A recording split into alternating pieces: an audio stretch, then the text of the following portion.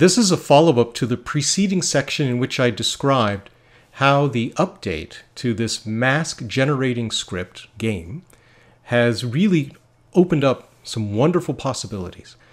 But it occurred to me that there's yet another possibility that uh, hasn't yet been explored, but is something that I think is very common for people to want to try to deal with, are satellite trails. Lots of images have satellite trails, and it occurred to me that uh, you can now use this script because it allows you to create polygons, like rectangles, to select things, to make masks about things. Let me demonstrate what I mean here. I'll need an image that actually has satellite trails, and I have a recent one that has a couple of satellite trails. There they are. Now let me be very explicit here. What I'm about to demonstrate is the kind of thing where you have a single image and you want to in some way take care of satellite trails. You don't have the ability to combine many images and then reject the satellite trail statistically, as is the normal way of doing it. So this is the kind of thing that maybe you're taking a picture out on your with your camera of the night sky on a tripod and a satellite or something go airplane whatever goes through the field and you want to remove that um, this could be a helpful way of dealing with it. But if you have multiple images, don't do this. It would be not, uh, not the best solution. So let's, let's demonstrate how you might be able to do this. Go back under script, go back to GAME, and here we have our satellite trail. So let me uh, zoom into the actual working version here. And I'll start at one end. And I've, uh, you know, I haven't done this many times, but I've done it a few times. And in the course of doing that, I very quickly learned that you add a point here, that if I now add the point over here and I run across to the other side, what can happen is um, I forget which side I clicked on first over here, and the lines will cross in the middle, making like two triangles. That doesn't work. So I recommend go around the satellite in a perhaps in a um, uh, in this way in this sense a clockwise direction or something. So I click my next point here, then I click the point here. Now the other thing about these points is that it might seem when they get close together you want to keep clicking in the middle but don't. It'll make easier to select one of these anchors when you click still in the circle but near the outside of the circle. That way you can grab that anchor and move it in close to the satellite trail like that. So don't try to click there because then you might select this one. Instead, click kind of far away, and then again you can get close like this. Now you'll notice that currently it's adding the curve. We don't actually need to add the curve. We want a straight up, just perfectly straight um, polygon. See, that's where you don't want to do that. You want to click on the outside so you can come in close, click on the outside so you can come in close. You know, you want to leave a little space maybe. You don't want to get perfectly close. Don't know, something like that. Now you go to the other end and you make the adjustment there. Maybe it takes a little bit of practice. I don't yet have the fourth point, so I'll click here for the fourth point. And then we adjust the top one coming in like that. And we adjust the other one coming in like that.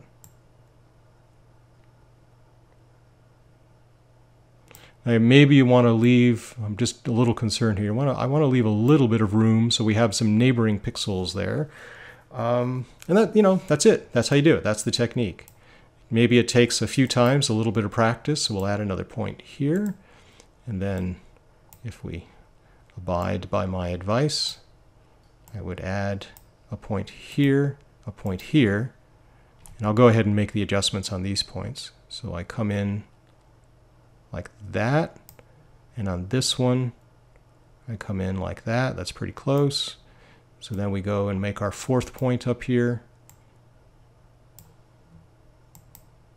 Clicking here, coming in, close. There we go. Click here, come in, and that's it. So we would do a binary mask, and this should create those two satellite trails. And then you have to decide, well, what do you want to do? we know now we can either as a mask or in some other way select these satellite trails for treatment in the actual image. But what kind of treatment are they going to get? Well, you know. So I'm going to be a little creative here. I'm going to try one method. Let's call this sat trails. So we have a nice name for this thing. And I'm going to invert the colors here because I'm going to try first to use this as a defect map. I'm not saying it's the perfect way, but, you know, could be a fun way. Okay, come under here, defect map and we select sat trails. So the things that we're trying to correct are black when you when you use this in the defect map process. Um, and let's zoom out here. So there's our satellite trails, and let's see what happens. Ta-da! I mean, it's not terrible, right? Now, what I'm not doing is zooming in. So if you zoom in, you can see where the neighboring pixels were substituted. Defect map is going to make a relatively smooth kind of pixel substitution based on the median. That's what it's going to replace. It'll replace it with the median. You can uh, potentially try, instead of median, you could try some of these other things like Gaussian and, uh, and see if you get a better result. But it's going to be pretty similar here. What Gaussian is going to do, it'll allow the um, it'll give weight to some of the neighboring pixels. You see where there's a star here? Uh, it gives some weight there and it puts a little bit of that light into that replacement. Whereas if you did a straight median, so you can see with median, you don't get that contribution of light coming from neighboring things. It's just the literally the median value, which allows you to do the following thing. Um, even though we have basically just you know put the median in here, one thing we can do is just match the noise, um, and then you know it blends even a little bit better. So let's just do this is kind of a standard thing to do. So you do noise generator. Uh, obviously, we're going to need a, a, number smaller than this, and we need a mask. So let's make this now, instead of being a defect map, we make it a mask. We apply it as a mask, like this but we don't need to display the mask so we can see what we're doing. Um, this is going to be too coarse. Watch what happens here. That's terrible. we don't want that. So uh, it's got to be a smaller number. I'm going to make a guess. Something small. Yeah, uh, that might still be a little much. Maybe we do point, uh, point one, two, three, five. Nah, it needs a little more than that. So I was probably closer with the point zero zero zero nine, whatever. So, and and it could be I should be using, uh, you know, Gaussian instead of uniform. No, well now I got to change. Let's just stick with uniform. I have to change the the noise level. Yeah, I mean that's close.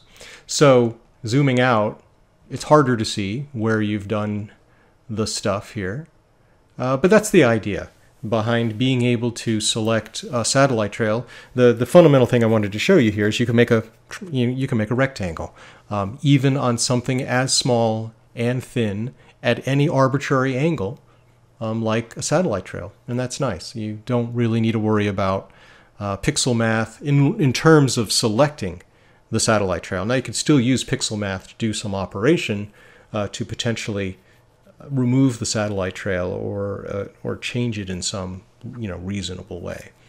If I was combining images and I wanted to improve the rejection of satellite trails, I could use this method to input zero values in these regions so that as part of the integration, image integration process, um, again, it'll surely reject these things um, and then perhaps get a better result than I would have otherwise gotten, uh, been able to get. So that's just a very quick little consideration. Um, it's not a full demonstration of how to get rid of satellite trails. It's really a demonstration of how to just select them, and then potentially you can do some things that will help get rid of them.